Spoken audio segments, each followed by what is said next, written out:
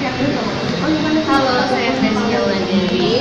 Menurut saya Jabar Publisher adalah media yang eh, netral uh, dan apa pun yang besar itu berawal dari. Jadi saya harap Jabar Publisher tidak melihat dari uh, berita yang latah yang kalau misalnya orang mau memberitakan tiba-tiba latah semua memberitakan. Jadi menurut saya Jabar Publisher harus menjadi media yang memiliki konten yang baik yang bermanfaat bagi masyarakat yang memberikan informasi dan juga mengedukasi masyarakat.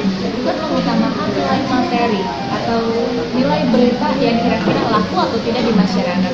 Jadi Jabar Publisher harus menjadi media yang anti hoax dia harus netral. Jangan latah karena ingin mencari rating kalau di TV atau menjadi media yang hanya ingin laku di masyarakat. Jadi harapan saya tetaplah menjadi jabar publisher yang Jawa Barat banget mencari berita nilai berita yang bermanfaat bagi masyarakat khususnya masyarakat Jawa Barat